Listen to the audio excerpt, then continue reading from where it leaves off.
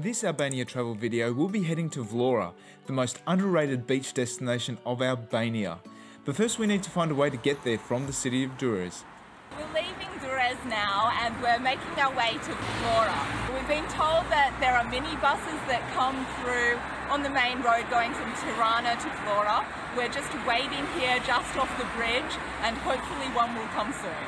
Okay, so we've been waiting for about half an hour now and a person who was waiting at the bus stop with us uh, offered us a lift instead. So he said he, has got his car nearby and that uh, he wanted to take the bus because he just wanted to uh, write stuff on his phone. So, um, not 100% sure about this, but we thought we'd give it a try. So, if someone finds this phone, this this was our thinking.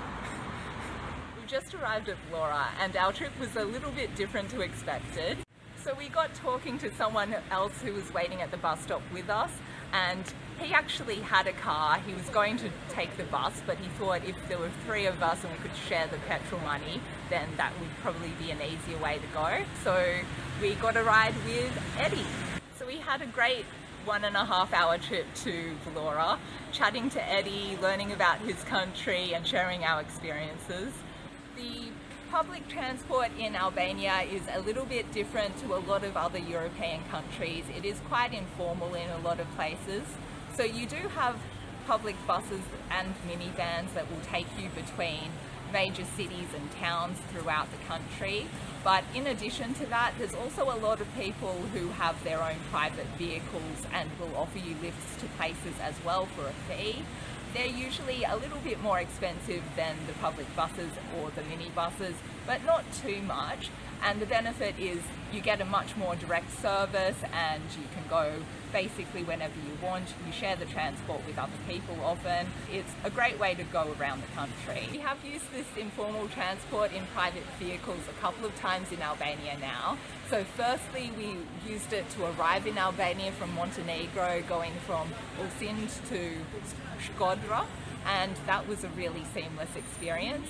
And now we've used it to come to Vlora, and again, it's fantastic. It's a way to meet the locals, it's convenient, it's fast, and it's reasonably affordable.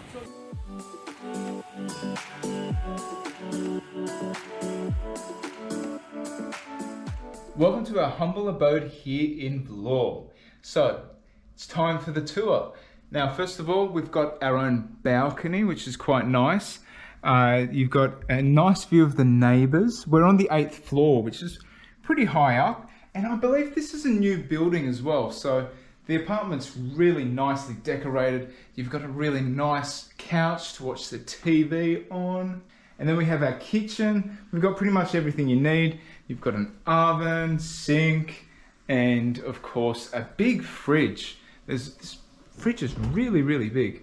So, which is good. And you've got our bottled water. Now, one of the things in Albania that you need to be mindful of is that you don't drink the tap water. Yeah, so we read up and uh, the government in Albania says you can drink the tap water, but locals don't. They prefer to be safer and drink bottled water. And we generally try and do what the locals do. So if the locals don't think it's safe, we prefer not to drink it either. We've got our own water filter that we bring with us. It's really compact and it allows us to just filter water on the go, which is really handy. Mm. So we'll put a link in the video description if you want one yourself. One final thing about the kitchen that we really like, which we've seen in the Balkans, but not too, too much else, is that you have these cabinets with your plates, but there's also a drip tray.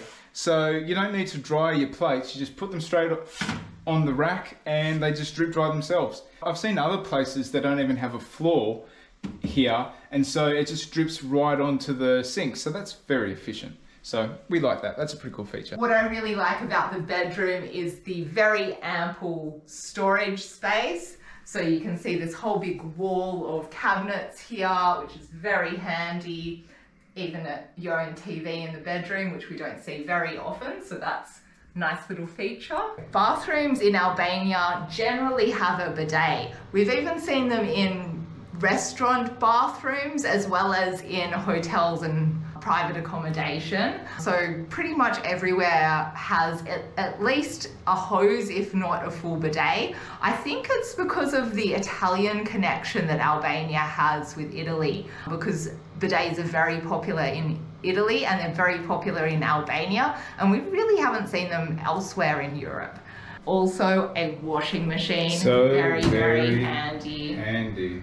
So we're staying here for two nights, and I'm looking forward to making the most of this place. Yeah, so it's it was really quite affordable as well. So each night's under 30 euros. So as you can see, it's a really nice apartment and for not not too expensive either. So we're gonna have a great time here. So lunch today is at Sofra i Lakrorit and it's a great traditional Albanian restaurant. Look at this spread.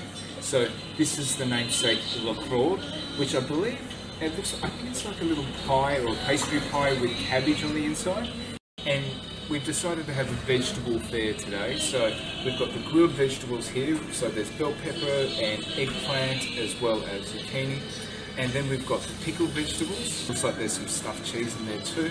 And finally, we needed a, a little bit of kofta as well. So I'm going to try the Lakror first. This is such a massive serving. I think it said it was a family pie. Ah, family pie. That makes a lot of sense. Yum. Oh, Beer. You look there. so it's like a pastry. It looks a little bit like burek in a way. So there's cheese on the inside as well as spinach by the looks of it. Oh, that's really nice. The cheese gives it a nice salty flavour. Mm. Oh yeah. I really like this Lakror. Just eating through this Lakror, we found that half of the Lakror is spinach and half of it is tomato. So that's really, really cool. And this Lakror is so delicious kofta, one of my favourites as well. So, one thing I've really gotten into is having yogurt with meat. You don't typically do that in Australia, you have tomato sauce with it, or ketchup. So, having yogurt with meat's really delicious. It just, it goes quite well together. Oh yeah. Oh, that kofta's really nicely seasoned. And, mm, and it just goes so well with the yogurt. I don't know what it is, but it's, it's really nice. I'm going to try this village pickled salad. So it looks like it's bell pepper with cheese on the inside.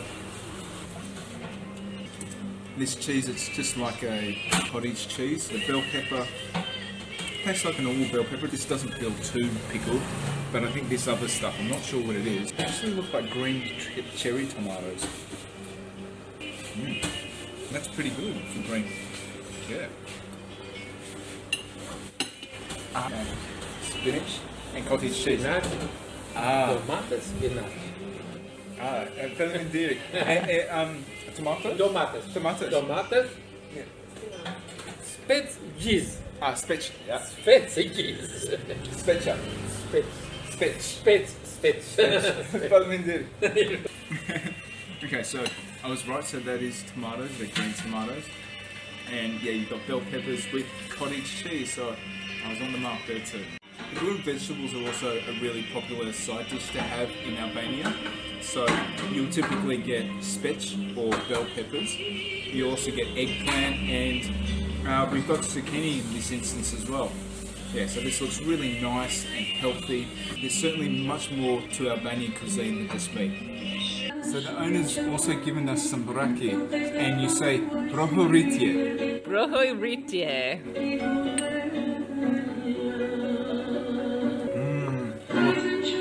Yummy and strong. that was a fantastic meal.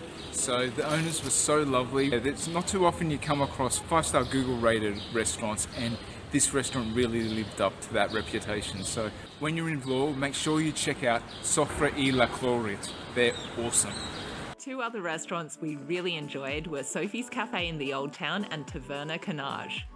Sophie Cafe is a very successful Albanian cafe chain, and they have an amazing array of drinks to choose from, as well as delicious desserts. Taverna Kanaj was another great local Albanian restaurant. It specialised in meat dishes and was outstanding value. We paid only 850 lek for lunch for the both of us, and this included grilled lamb, grilled cheese, salad, and bread. Well, we're just a few hours into our time at Vlora, and already I am just loving it.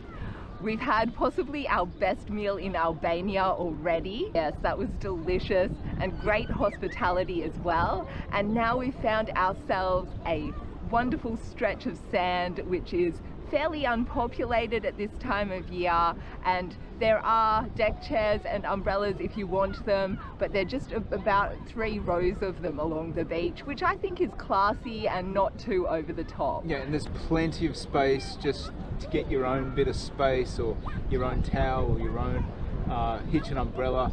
It's yeah just right the right balance. Yes definitely. And how is that view? I really love this area. It's just so pretty and I'm really loving the vibe here.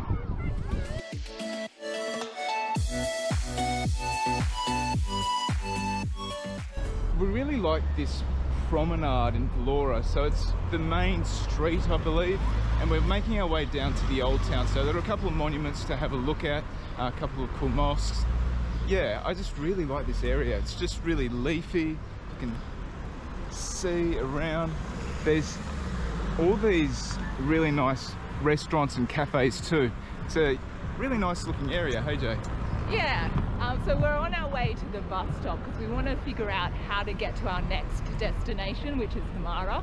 And we found that the transport in Albania is a bit more informal. There's not a lot of information online, so you really do need to investigate a bit yourself mm -hmm. or ask your accommodation host. Yeah, we found that's that's probably the best way to do it. You just ask your host where to go and yeah they should point you in the right direction we've had success so far and we're just going to do an extra bit of due diligence this morning just to make sure there are no hassles tomorrow our first stop for the morning was to take a look at the Muradiye Mosque this historical landmark was built back in the 1500s and still stands to this day this is the Independence Monument of Albania. Albania declared its independence in 1912. Now this area is currently under construction, but it looks like it's going to be a continuation of the promenade area. It's a beautiful area, nice open space. We've got the flag over there as well. So I think I've found the place we need to go. So behind me is Rusi Tours. They have buses. They go not on Sundays it seems, but on either 12 or 1 most days. And then you can see over here, there's also some vans that go to various places around Albania as well. Just across the road from the National Monument and the, the Rusi Tours, you've got the old town of Vlora. And it looks really pretty. I really like the colors and the stone buildings. Yeah, it looks really yeah. nice. I found Vlora looks really livable. Like there's just so many cafes and I think the city's really well planned out. It looks like there's a lot of really nice open boulevards and it's really easy to get around in, very great for cycling and for walking and yeah, just beautiful.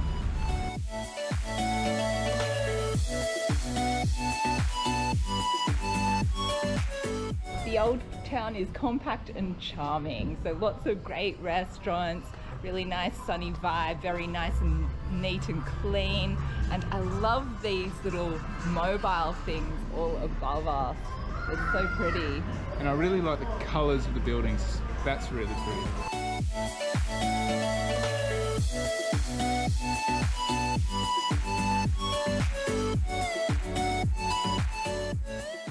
We noticed a green space on top of the hill overlooking Vlora and this appears to be a war memorial and a cemetery for people who have died in combat.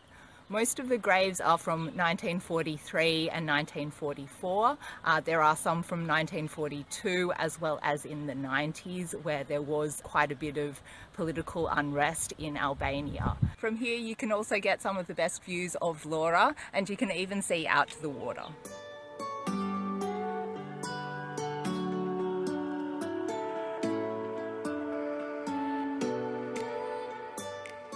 Made our way up onto a vantage point here. I, it's called Kuzum Baba. So there's a shrine just over there, and we're at this rooftop bar, which has an amazing view overlooking Vlora. So we're walking along the Vlora waterfront area now, and it's just such a lovely area. It was constructed recently with the help of financing by the EU, and just look at it, it's just lovely. Yeah, we're headed to the beach right now.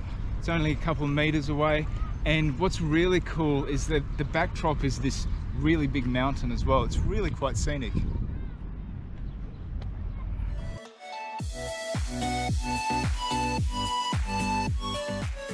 So we're on the beach now. It goes on for miles. So what is great about this beach is that it's not overcluttered with beach umbrellas and beach lounges. There's plenty of space for you to find your own spot to just enjoy the beach.